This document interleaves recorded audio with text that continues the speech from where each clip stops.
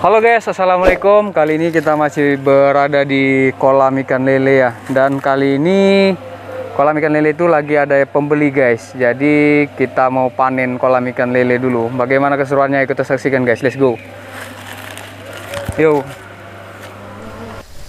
Halo guys, kali ini kita masih di kolam ikan lele atau peternakan ikan lele yang berlokasi di Jakarta Utara, Kecamatan Cilincing ya.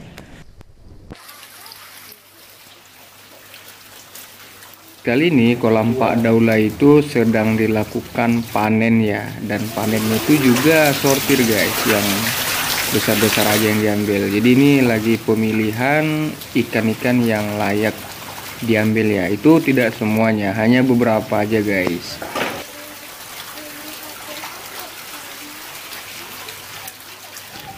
Jadi ini pemilihan aja guys. Pemilihan ikannya yang layak dijual itu kisaran 8 sampai 9 ekor ya per kilonya. Jadi kalau masih lebih misalkan 10 atau 11 itu belum layak panen guys. Itu belum bisa dijual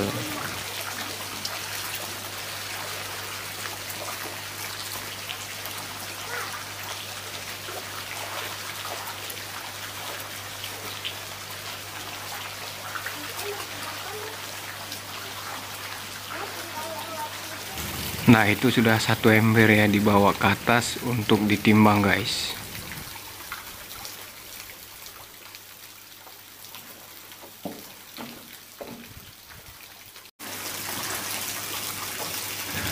Sementara Pak Ade di bawah sedang mencari-cari sampah-sampah ya. Biasanya itu sampah-sampah ini ya guys Tulang ayam.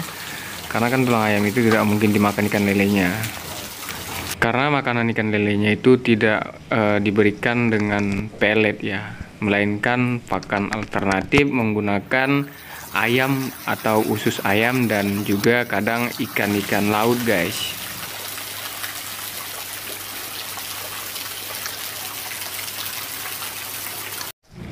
Nah itu bisa kita lihat ya. Ada tulang-tulang ayam dan ada juga ikan yang mati guys mungkin akibat berkelahi ya. Karena kan kita tahu bahwa ikan lele ini juga ikan kanibal guys.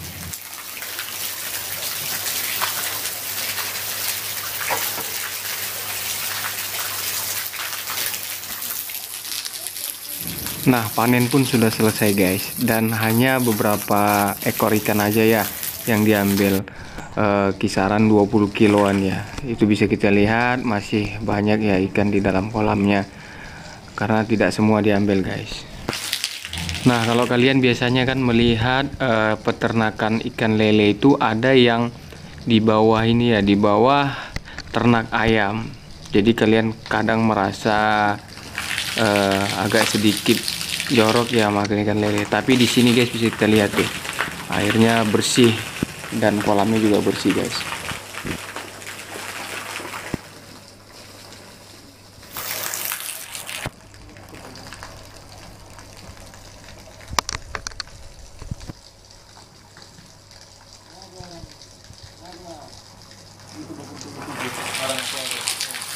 ini kan air juga udah kotor amoniaknya udah banyak.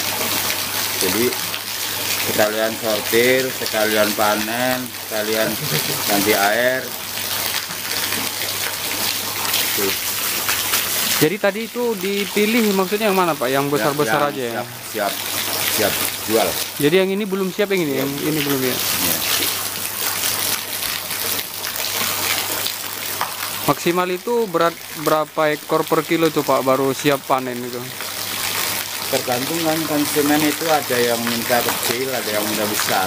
Oh gitu ya. Kalau wilayah penggilingan mintanya 89 aja mau. Kalau wilayah sini 78. Hmm. Ada yang minta 67. Oh. Ada yang 56 juga minta.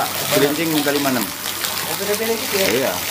Mungkin segmennya kan mungkin beda-beda ya. Ada yang mungkin senang yang gede. Ya. hmm. ada yang kecil-kecil aja karena oh. anaknya banyak. Ya enggak sekilo jadi ada sembilan. Sembilan anak kan gitu. Ada yang gitu. Ada.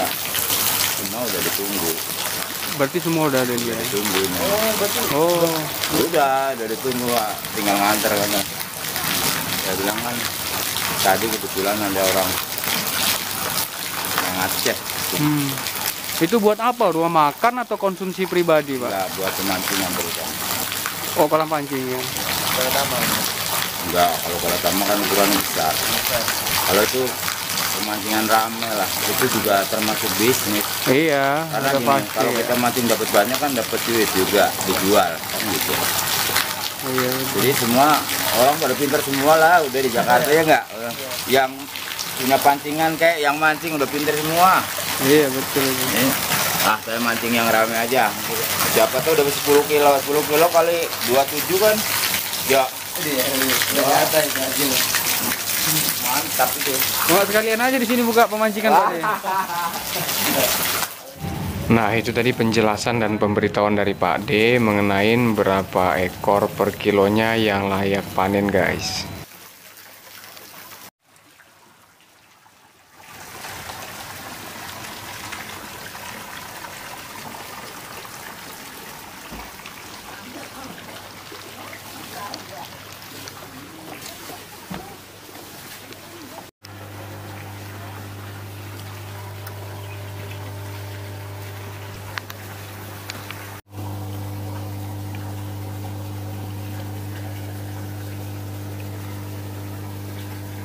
Nah dan ini sekarang proses penimbangan guys. Mari kita lihat ya.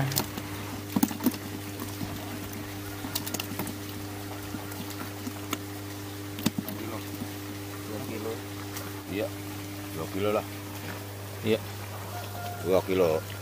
Ya Kalau gitu ke sana aja no oh iya bak itu bak itu. Udah tuh wah bak itu bawa sini aja no tinggal tumpahin situ langsung. Ya ya yo. Yo